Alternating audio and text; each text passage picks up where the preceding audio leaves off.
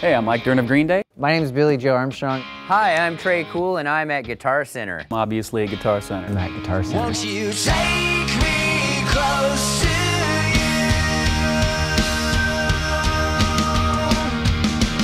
you? These days, my favorite is my new Gretsch USA Custom Kit. It is outstanding, sounds really good. My new Gibson guitar that I just did is basically a, um, a Les Paul Jr. It's uh, got one volume and one, one tone knob. My Fender bass, 51 Tele body. See, we got the badass two bridge on there.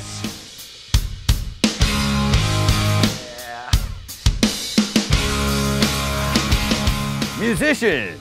My mom had a roommate that was uh, a guitar player. He'd show me how to play a couple things here and there, and then uh, lo and behold, you know, we had sleep over at Billy's house one day. We're like, hey, let's learn some songs, some songs together, and the next day we had a sort of band.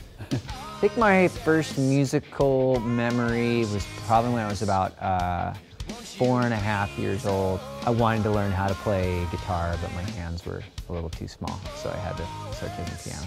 I say if you're going to play music, you know, and, and you're young and getting into it, play with your friends. You'll have like-minded interests. Don't waste time playing with somebody just because they have a van or a PA.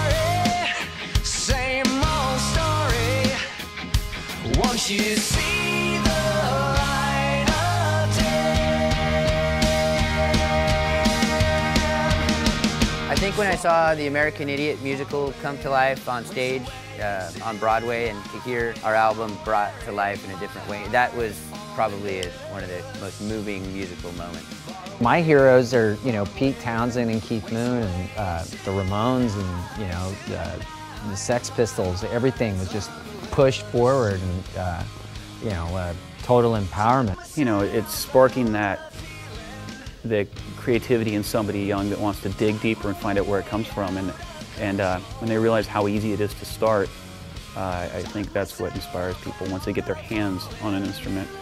I think anybody that says that rock and roll can't change lives, I think they're full of shit. It's, uh, it can, change mine.